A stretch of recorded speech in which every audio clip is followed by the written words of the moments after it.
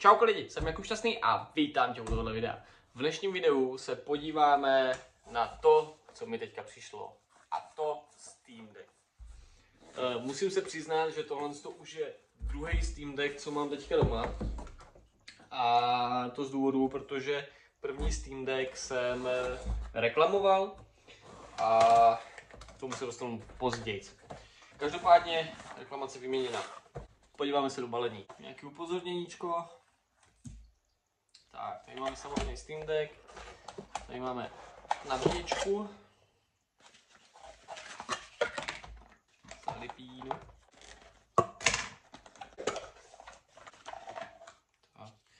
45W nabíječka. Menší to neutáhnou, dokonce to hodí chybovou hlášku, že uh, se to slabě nabíjí, to ne, nemusí ani nabít, tak tady máme samotný Steam Deck.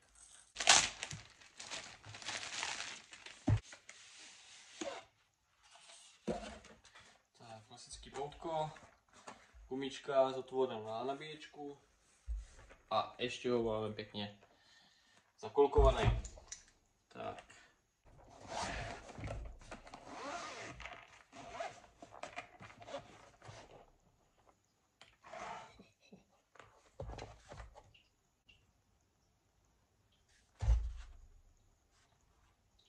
Tak, v předchozím balení jsem tady měl, je to taky celkem úsměvný, jo, ale v předchozím Steam Decku, co jsem měl, tak tady byl takový bílej proužek na to, abych si ten Steam Deck mohl vytáhnout. A na skupině se Steam Deckem jsem přesně řešil tady ten, ten příspěvek, nebo respektive jsem ho jenom četl. A to to, že právě Borec se ptal, jestli ten bílej proužek mají všetci, nebo jenom některý jako balení. A teď borci se tam jako prostě, hele, na co je proužek, k čemu prostě, jako, že to je ptákovina. Hej, a já jsem k tomu psal, že to je celkem dost uh, dobrá věc, blbej proužek, který se můžeš všít, že prostě na to vytahování toho Steam Decku, jo, že prostě takhle jako vytáhneš, jo, že jo, ale prostě ten proužek, víš, chybí mě. A všetci psali, a já jsem psal, že ho tam mám taky. A teď ho tady nemám. Jakože, nevím, jestli to je nějak, třeba novější typ to nemá. To pouzdro je teda jako úplně stejně udělaný, koukám. Steam Deck taky. A teď si nejsem jistý, jestli dnes jsem neměl barevný logo, ale to si nejsem jistý. No, jdeme ho zapnout. tak je vybitej. Tak, já si Steam Deck nastavím a za chvilku se budeme věnovat tomu samotnému Steam Decku.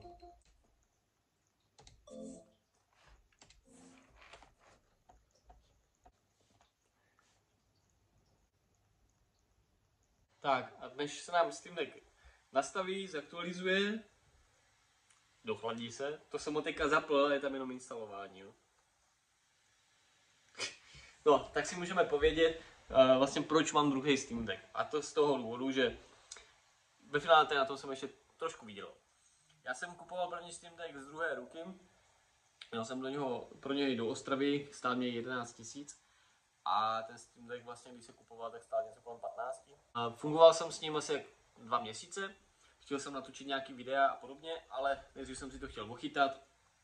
A než se dostanu k nějaké instalaci Windowsu a takový, co jsem tam měl, to budu dělat další video, až tady to rozjedu. Valve tak udělal aktualizaci, která byla chybová a udělalo tu chybu takovou, že Steam Deck se zaktualizoval a některým uživatelům po vypnutí třeba nechtěl jako najet. Prostě to naskočilo jenom to úvodní logo toho Steamu a zase se to jako restartovalo a takhle se to restartovalo furt do kolečka. Tak se to muselo hodit do bootovacího režimu, z bootovacího režimu se zapnout teprve do SteamOS, ve SteamOS se přepnout na plochu jako do Linuxu a v Linuxu přes nějaký uh, terminál tak uh, si upravit nějaký konfig, aby se to vlastně bootovalo okamžitě do Steamu. Uh, mně se bohužel stalo to, že se mi Steam Deck po aktualizaci úplně vybil a pak už nešel zapnout vůbec najela jenom četná obrazovka bez loga a dál to nepokračovalo. Takže prostě kdyby, ne že chcípl, ale prostě nedostal se ani k logu. Uh, zkoušel jsem ho jak restartovat několikrát, tak různý návody typu uh, dlouze 20 vteřin podržet eh, power, jako na zapínání tlačítko, aby se on vlastně kdyby natvrdo vypnul, pak ho zapnul. Zkoušel jsem najet do bootovacího režimu, do recovery modu, do uh, jakože když máte zálohu udělanou a nic mi prostě nešlo, absolutně nic mi nešlo, vždycky jsem měl jenom čistě černou obrazovku, vůbec ani logo, nic neměl. Uh, co jsem se dočetl na netu, tak uh, uh, jediné, co pomohlo, tak bylo vlastně odpojit a připojit uh, baterii, takže jsem s tím Deck musel rozebrat, odpojit vlastně baterku, za, zapojit baterku a s tím Deck jsem nastartoval. Nevím proč, s tím Deck jsem samozřejmě měl nabitý přes noc, ale proč, nevím. Chtělo to nějaký asi hloubkový restart, odpojení prostě systému, já nevím prostě. Steam Deck najel, uh, chyba, kde vlastně by se to mělo opakovat a restartovat u logách, tak jak jsem teďka říkal s tou chybou, tak se mi nenastala potom, ale ta aktualizace přinášela ještě to, že uh, se nějak aktualizoval jakože chod větráku, jako nachlazení a mně se udělalo to, že mi větrák jel na 2000 otáček místo 6 až. Takže se mi to, ne že přehřívalo úplně, ale samozřejmě on, ten Steam Deck potom, když se přehřívá, tak sníží FPS nebo výkon, jo, nebo nějaký prostě rozlišení nebo detaily a podobně. A tak to byla jedna věc, takže jsem kontaktoval Steam Support, s tou jsem komunikoval už předtím, ale nepsal jsem jim nic o odpojení baterie. Napsal jsem jim jenom, že to prostě funguje. Uh, Steam Support komunikoval a tady musím fakt podotknout, hodně podotknout, že Steam Support absolutně suprově komunikuje a radí uživateli. Jako fakt jsem měl třeba do dvou, do třech hodin odpověď a úplně a valilo to. Fakt jakože žádný takový, hele už neotravuj, jo, ser a takový, ale pa naopak úplně krásně komunikují. Eh, se Steam OS, se Steam, tak, se Steam supportem jsem komunikoval, tím mě eh, navedli do nastavení toho větráku, ať si vypnu nějaké funkce a aby to běželo normálně, co jsem udělal. A větrák potom měl jako normálně na 6000 eh, RPM. Jenomže nastal problém, že FPSK tak mi spadly tady o polovinu dolů a GPUčko mělo na 100%. Takže já když jsem zapal hru a to třeba jako Eurotrack Simulator dvojky, které nejsou úplně až tak eh, náročné, protože Steam Deck rozjede eh, ve SteamOS, tak rozjede normálně Cyberpunk na plný pecky, ty vole, a je to úplně krásně nekouše se a prostě úplně v pohodě. Ale už jenom u Euro Truck Simulatoru 2 to měl prostě problém. Eh, když jsem měl, mám, když jsme to porovnali s kámošem, který má Steam Deck, měli jsme kompletně stejné nastavení, jak pro hru, tak pro Steam Deck, tak ve hře ještě nastavení jako rozlišení grafika a takový, protože to nastavení je hromada, tak jsme měli úplně stejný, i to základní, i upravovaný a prostě mě jel na stejné hodnoty, kde mu jel prostě Eurotrack Simulator na 60 fps v plném rozlíčení, v plných detailech, tak já jsem se dostal ty US, na 15 fps, 20 fps maximálně. Dostal jsem se třeba na, maximálně jsem se dostal na 25 fps, když jsem stál někde na místě a nebyla tma. A to ještě k tomu GPUčko jelo na 100%, prostě fakt otřesný. No a tak jsem už nevěděl co a jak, takže jsem se radil jak eh, na skupině, kdyby náhodou to někdo řešil, tak eh, i Steam Support. A Steam Support mě potom hodil jakože jako remíč eh, SteamOSu s Linuxem, že jsem upravil flashku, nahrál jsem tam ten remíč a přeinstaloval jsem kompletně Linux se SteamOSem, na to bude taky video. A po tady tohle to mělo jak kdyby uh, se poupravit a mělo to jít normálně. Ale ono to není jako tovární nastavení, tovární nastavení je ještě trošku něco jiného, toto je kompletně přeinstalace, takže úplně všechno zmizne, úplně všechno jde na novo.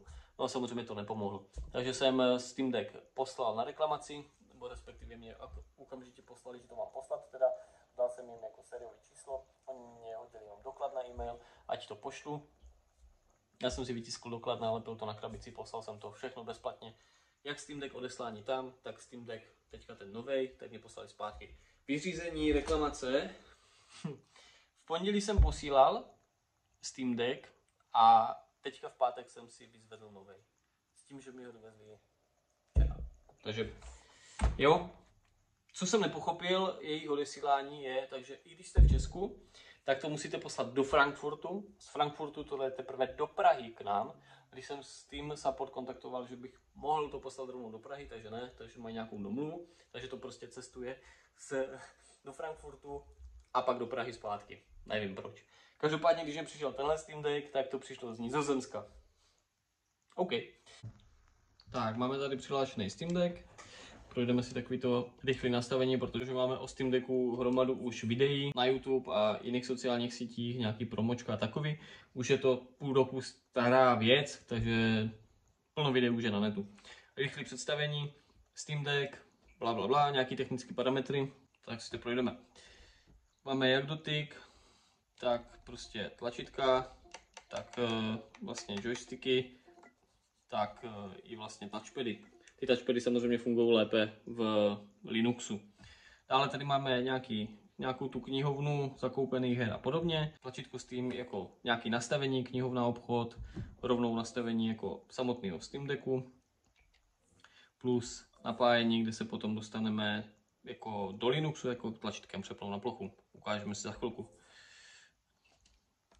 Tak, pak tady máme tři tečky a to je vlastně jenom rozhraní toho Steam Decku, jako takový to jazz Wi-Fi, tak jak to znáte z telefonu, když ta scrollujete vlastně control bar a nastavíte si Wi-Fi no Bluetooth, případně tady už je dobrý, kde si můžete dát jako baterii, eh, vlastně tady pak dáte FPS, vyjede takový sloupec toho překrytí, jak to jede, případně dáme pokročilý a v tom pokročilém nastavení potom můžeme dávat a volit jako grafiku, výkon a vlastně sledovat FPS nebo roz, nějaké vykreslování vzdálenosti, vykreslování obrazu a podobně, jako co se týče ve hrách.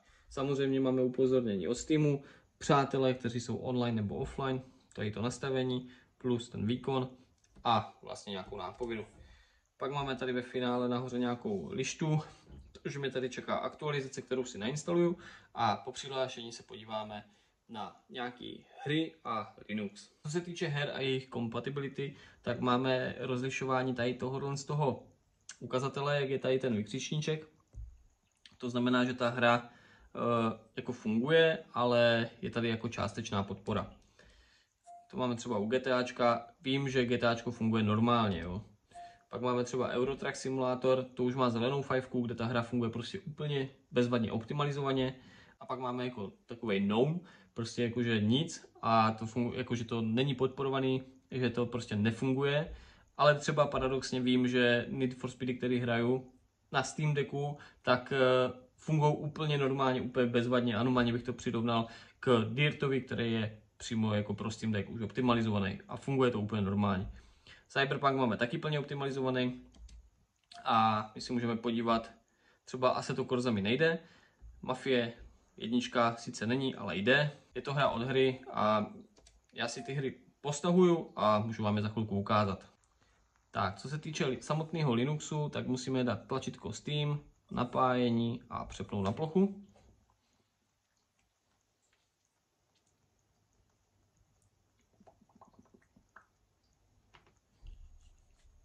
Tak a nacházíme se normálně ve Steamu, kde nám jedou touchpady, jeden, druhý potom funguje na takovýto scrollování a podobně.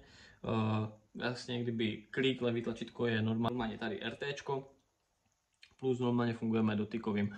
A zde tady to celé rozhraní toho Linuxu je úplně stejný, tak jak to znáte z počítače, takže kompletní nastavení. Máte tady i prohlížeč jako Mozilla, takže klidně se připojíte na internet, můžete surfovat, můžete si pouštět YouTube, můžete si stáhnout Netflix a jet na Netflixu a podobně, takže prostě úplně za mě super.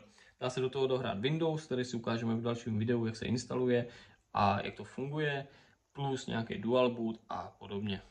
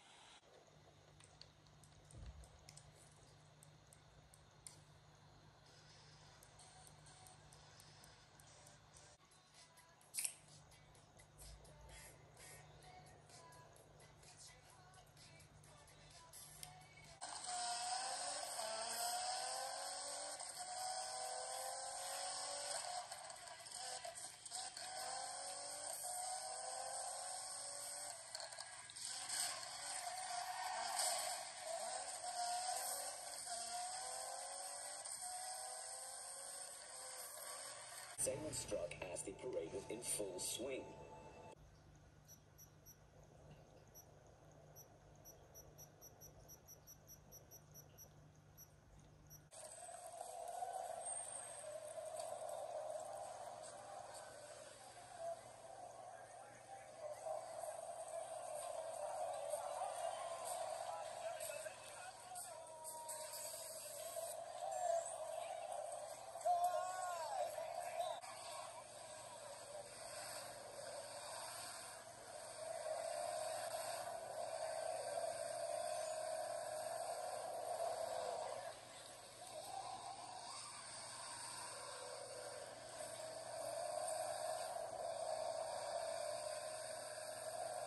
Tak, jsme u konce videa. Já doufám, že tohle video o Steam Decku ti pomohlo.